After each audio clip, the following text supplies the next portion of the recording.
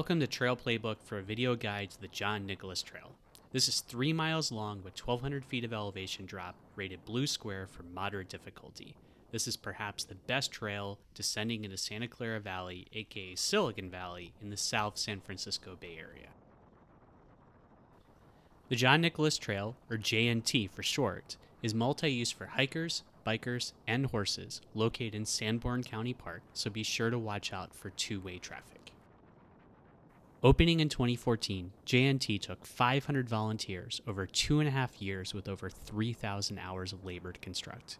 Named in tribute to John Nicholas, one of the founders of West Valley College's park management program, he passed away in 1998, leaving a legacy of local parks and national impact.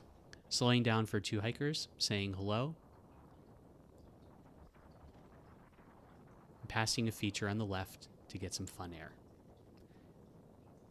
Coming around this turn is a beautiful view with a bench of Silicon Valley and another two bikers saying hello. That bench is one of many places to stop, sit down, and enjoy the scenery. This video does show a medium safe speed as there is almost always two-way traffic to look out for. The bike used in this video is a 2019 Santa Cruz Stigmata with WTB Ranger 650B by 2.0 tires at 21 front and 23 psi rear for a rider weight of 155 pounds. But this trail is fun to pedal up and cruise down on almost anything. This video was shot in the morning hours of a cool early October 2020 day the conditions are maximally dry with dust over hard, sandy conditions, and many turns crumbled to the outside. Coming into a little bit of a riser, and then starting a super long, sweeping left hand turn. Look at the GPS trace in the upper right. This turn is almost 30 seconds long of left, still turning left, still turning left, and turning left for quite some time.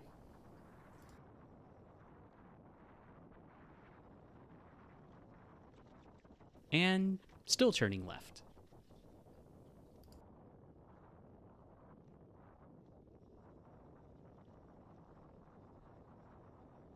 On the left is another built feature for a little bit of air, getting the tiniest bit off the ground as I'm on a rigid gravel bike. The soil and the trees. This is the typical silty, sandy soil of the Santa Cruz Mountains, as this is on the eastern slope.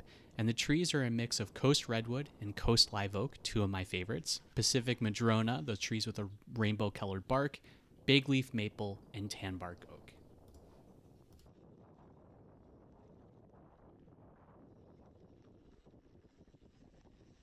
Coming into the most built up part of the trail, the series of switchbacks. A right turn, followed by a left with a little bit of a bank. Back to that boulder for another right turn. Past a bench for, you guessed it, upcoming on a left turn with a little bit of a bank.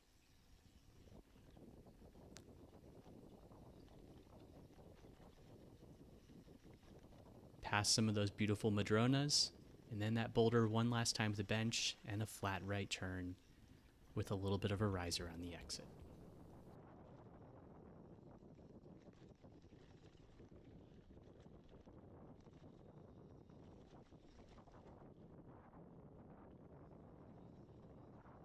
Coming into a decreasing radius flat left turn, across a stone bridge with a bench, into a little bit of a riser, then opening back up into a great sightline. A note of caution. This hard right flat turn with the boulder on the inside is blind. I do recommend slowing down here as I've personally encountered riders and hikers countless times in that turn. And this trail is over a thousand feet down, but has a great opportunity to pedal, pedal, pedal through a riser a little bit more of a riser uphill, and saying hello to a biker.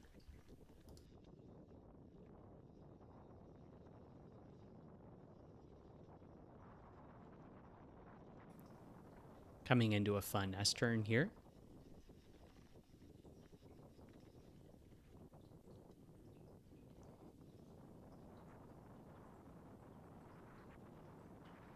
Then crossing an ancient driveway with an opportunity boost for a little air.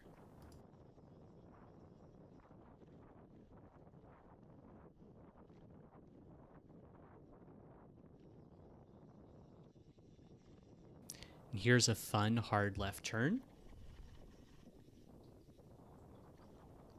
with a great sight line on the exit, continuing downhill.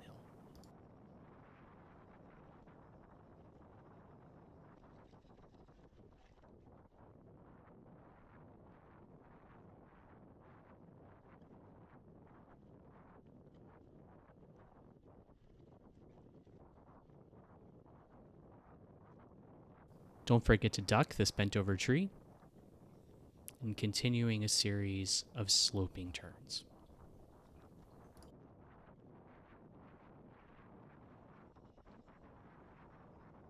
This is one of the trickiest sloping turns. It is flat and also potentially fast, but has a lot of sand on the outside.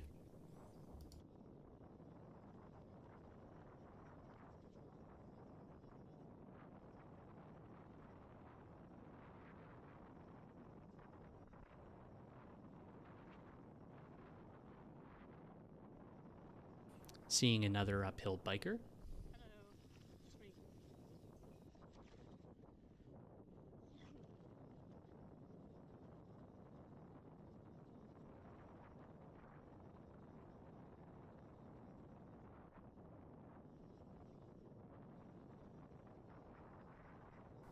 and what I consider to be the best switchback here. A nice left turn with a high berm that you can really cruise through. Slowing down to the outside for another biker, as this is a two way trail and most people ride up and then down this way.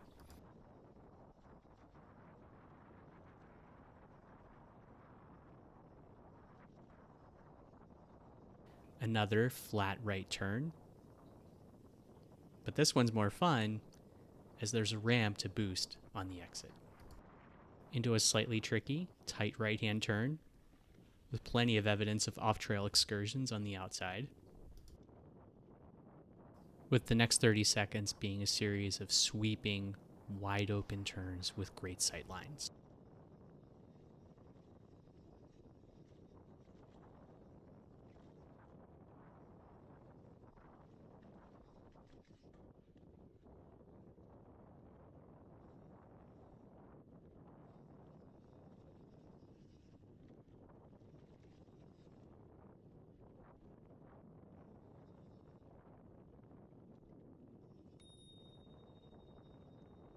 slowing down for three hikers, coming into a tight left hand turn that I always wish the berm was a little bit higher.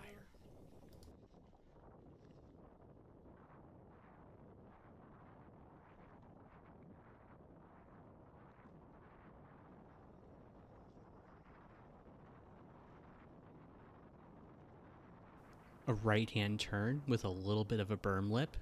It's actually longer than it looks as it continues turning right after the first apex. The trail becomes a bit narrower and tighter, with a little bit of air off that route.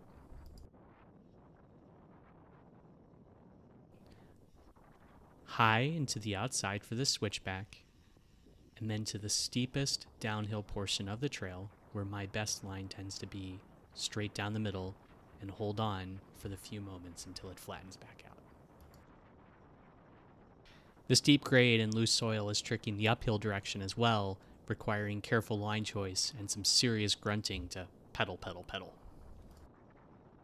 For this last mile, the grade is a bit steeper, requiring a bit more care in the turns to look out for uphill traffic, and also if you're pedaling uphill, a bit more fun from the start of the trail. This used to be a line you could ride up high on, but there's a fallen tree in the way now, so watch out for that as of October 2020.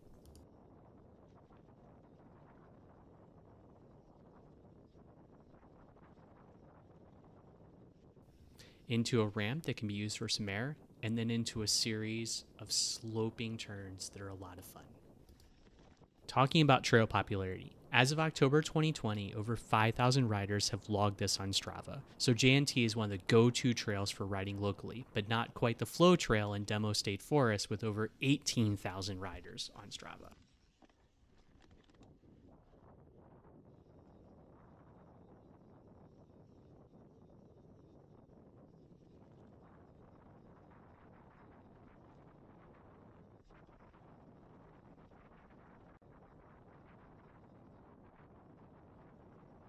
And talking about popularity, here's a big group of brightly colored uphill riders. And some more.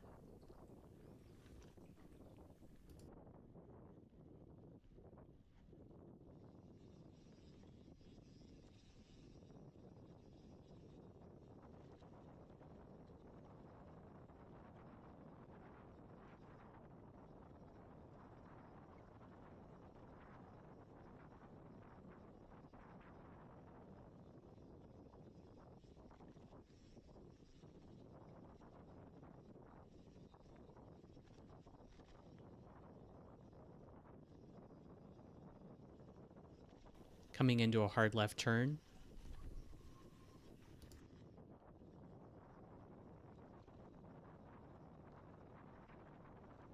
Safely passing a hiker, and then into a series of turns before crossing a bridge.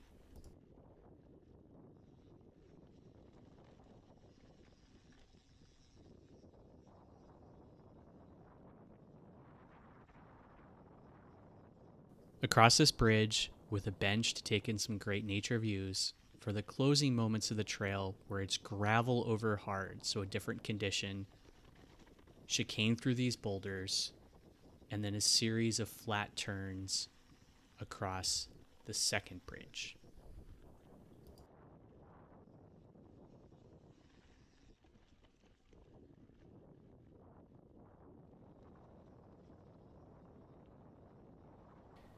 And a few more flat turns, closing out the trail, crossing a third bridge, and that's the John Nicholas Trail. I hope this video was helpful in terms of guiding and run what you brung, even if it's gravel bike to ride the John Nicholas Trail.